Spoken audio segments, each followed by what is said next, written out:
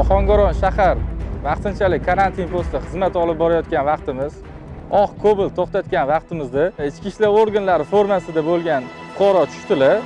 Podpolkovnik unvon dedi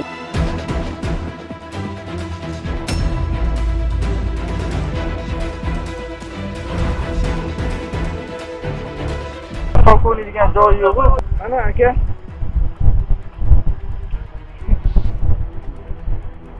kim berdi bu narsa podpolkovniga mana kim berdi podpolkovniga man ishlaganman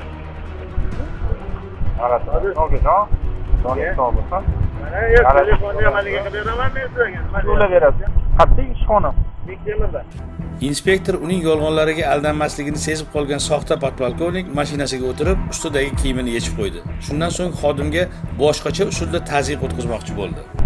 Qayerda ishlagansiz avtobajoda ishlagan oddiy chiqamiz bormi? Bor uyda men o'zim yana qo'shimcha haligi qilayin deb turib qo'riqlash xizmati ochganman bektemirda joning sog' bo'lsin. Inspektor ushbu shubhali shaxsni ichki ishlar bo'limiga olib bordi. U taqdim etgan hujjatlarni ko'zdan kechirilganida bu fuqaro qo'riqlash faoliyati bilan shug'ullanuvchi mas'uliyati cheklangan jamiyatda ishlashi ma'lum bo'ldi.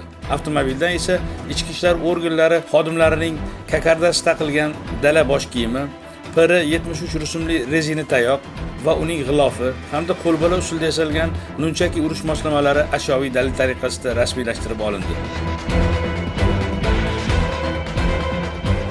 Unda men mana shu kungacha u yerda unaqa podpolkovnik zvaniyasi borligini hech tikilib ham qaramaganman bu sezganim ham yo'q. Manga mana bu formani tikib berganda bir rahmatli og'aynim tikib bergan. Ana o'shanda bosh kiyimi bilan sovg'a qilgan. Mana shu formani kiyib haligi qilganimizdan baribir uzr so'raymizu lekin tez kunlarda o'zimizga tegishli bo'lgan usti boshimizni to'g'irlaymiz deb va'da beraman. Hozirgi kunda ohangaron shahar ichki ishlar bo'limi huzuridagi tergov bo'linmasi tomonidan mazkur holat yuzasidan surishtiruv ishlari olib borilmoqda.